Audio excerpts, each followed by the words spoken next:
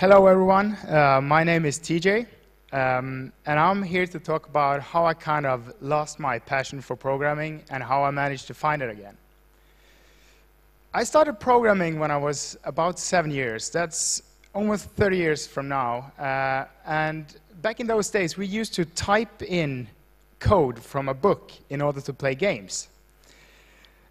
But it wasn't soon uh, before I realized what I really wanted to be when I grew up.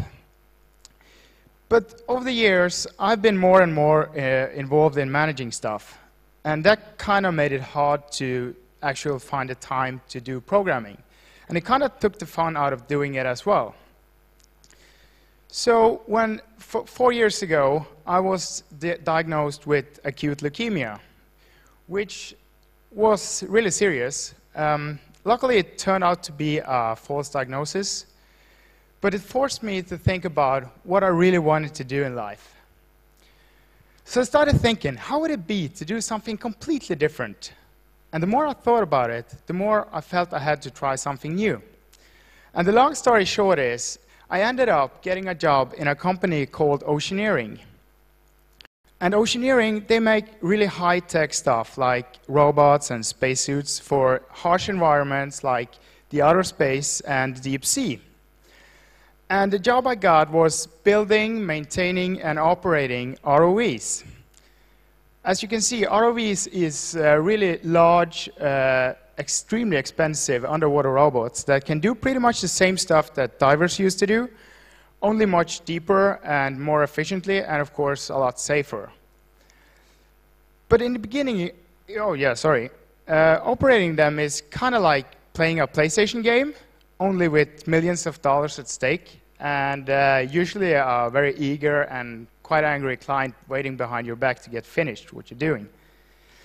In the beginning, it was kind of scary being a, a, complete novice again, while everyone else seemed to have really solid experiences from aircraft mechanics, robotics, uh, automation, and so on.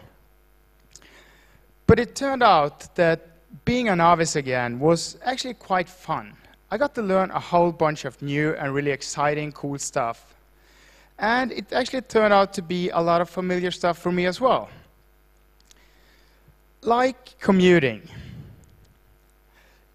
It takes about the same time to get to work.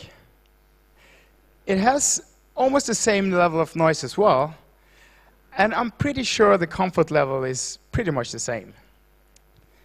And of course, you have the complexity. Complexity built by someone else that you have to maintain with inaccessible and incomprehensible documentation. I think a quite, quite a few of us have done that as well.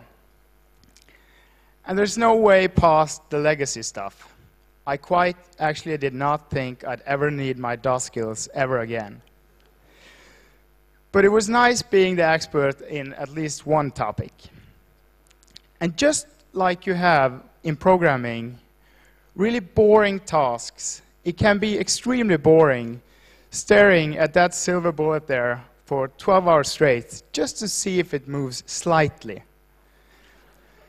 But everything is forgotten when you get to do fun stuff that you're not really supposed to do.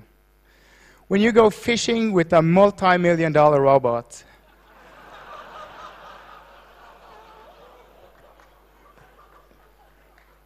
and you get to eat the fish afterwards.